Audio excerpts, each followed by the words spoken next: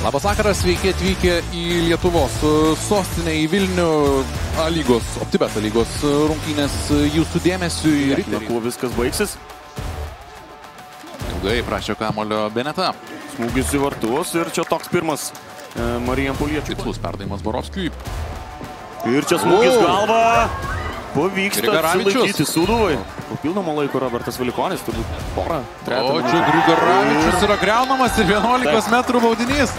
Be jokios abejonės. Semiras Kerlas štai taip grįžta. Rodo, jog į Janiko Glų. Leidimas smūgiuoti kamolį duotas. Lezama ir O! čia Vakis Janiko Glų. Wow. Bravo, na dabar suprantu, kodėl um, būtent Makis uh, žaidžia, o Kardumas sėdė ant suolo. Puikus vartininko epizodas. Sveikina ir komandos draugai. Kelis uh, Lezama šiaip ar taip 0-0, o tai reiškia, jog 29-asis Markas Beneta ir 80-asis Jevgenas Jefremovas. Čia Janiko Glų dar vienas jo geras epizodas.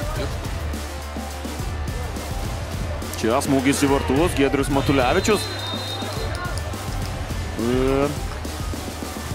Susidūrė ten su varžovu Matulevičius. Geltona kortelė parodyta Valdui Paulauskui. Tai turbūt reiškia 11 m baudinį. Atrėmė, pažiūrėsime, ar pavyksta padaryti Armantui Vitkauskui. Uu, Ir čia labai įvartis. arti, labai arti buvo. Alasas Goropsovas 1-0, 57 rungtynių minutė. Ir čia tokia turbūt futbolo dievų dovana Marijampolės Suduvai. Pavyksta išsiveršti į priekį Marijampoliečiams e, rungtynėse svečiuose. Antrąjį savo įvartį sezone muša Nikolasas Goropsovas.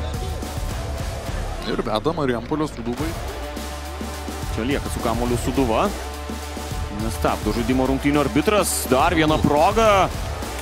Ir šį kartą sėkmingiau žaidžia Armatas.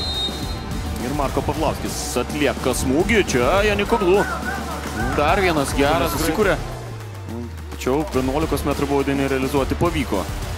Smūgis. Baranauskas čia. Žaidimas norima žaidimo ranka ir 11 Taip, metrų baudinys. Trečiasis 11 m baudinys šį vakarą. Nu, senokai neteko ko nors panašaus. Slavickui raudona. Taip, antroji geltona kortelė. ir Vaidas Slavickas. Roberto Valikonio leidimo.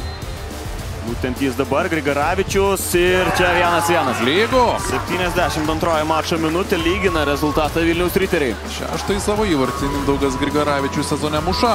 Kalbėjom apie tikrai neprastą Grigaravičių sezoną ir toliau.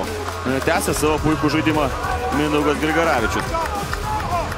Nu, kad riteriai už tokį savo žaidimą nu, taip prilaiko varžovo ranką Mbobo ir čia smūgis šalia vartų. Jefremovas e, viskas. e, Finalinis Roberto Valikonio švilpukas reiškia, jog e, riteriai ir Marijampolės Suduba šias penktadienio vakaro rungtynes užbaigė lygiosiomis.